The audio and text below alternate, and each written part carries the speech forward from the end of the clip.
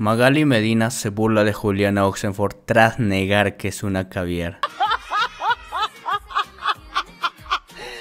Juliana Oxenford hizo una parodia con una lupa para buscar el caviar en ATV. Tras esto Magali Medina reaccionó y dijo de todo mientras se reía. Aseguró que no necesita una lupa para ver una comunistoide en su canal, Además, culpó a Oxenford por ahuyentar a los televidentes y auspiciadores de ATV por su posición comunista el canal y hoy día les he pedido a los chicos de la producción que me traigan una lupa, porque estoy buscando al agua el caviar, ah, que dicen que está aquí en ATV. Ojalá sea yo. Yo digo, a ver, si hay caviares aquí en el canal, preséntemelos porque tampoco es que tenga tantísimos amigos y los estoy buscando. Somos todos caviares, vengan chicos, hacemos pues el programa. Yo por eso traje la lupa, o de pronto la caviar soy yo.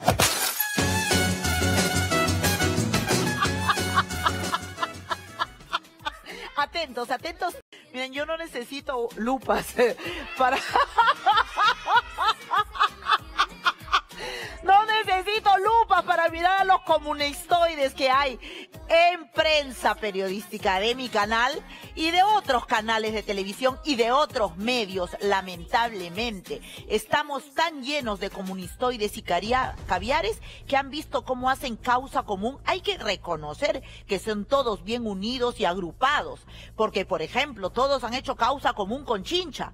Chincha se fue de vacaciones, ¿no? Y la otra, la que lo denunció, es una loca, despechada, ¿no? Eh, es una tóxica, etcétera, etcétera, ¿no? Él, no, él está de vacaciones. Ay, ¿a quién le importa? ¿A quién, a quién le importa lo que no? Por favor, así son. Si fuera otro que no fuera comunistoide como ellos, caviarón como ellos, en este momento los disque periodistas representativos ya lo hubieran, pero masacrado, masacrado literalmente. Y no solo en medios, sino también en redes. Así que eso que se, que se van por ahí, ay, yo caviar, ahora todos estos caviares ya, ya no se dan cuenta que cuando en la última campaña, todos por sus odios personales y su anti grupos, algunos grupos políticos agarraron y lo que hicieron fue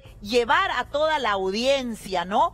Todos los días machacar con que como que la mejor opción, la única puerta de salida desesperada para este país eran los comunistoides con Castillo a la cabeza. Y ahí está pues, tuvimos al Castillo ganador, ahí está. ¿Y ahora qué hacen?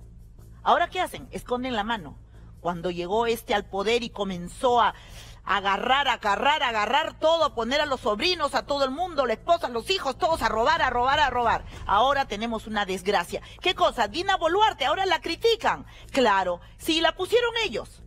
Ellos fueron los que acrecentaron esa brecha, esa polarización de este país que estaba entre anti, los antis. Oh Dios, el cuco puede salir, no. Claro, y nos mandaron con el otro cuco. Claro, habíamos personas que somos más racionales en ese sentido. Yo no me meto en política, no hago política, yo hago entretenimiento.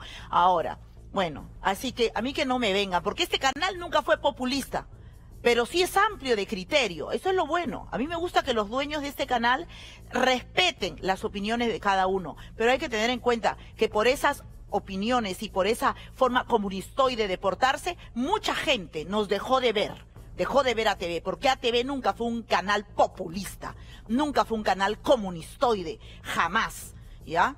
Eso, eso sí lo digo.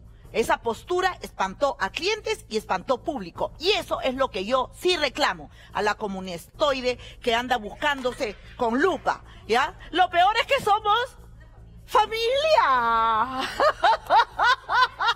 Disfuncional, pero familia, perdonarán ustedes. Ahora, luego del break, vamos con otra familia disfuncional, la de Melissa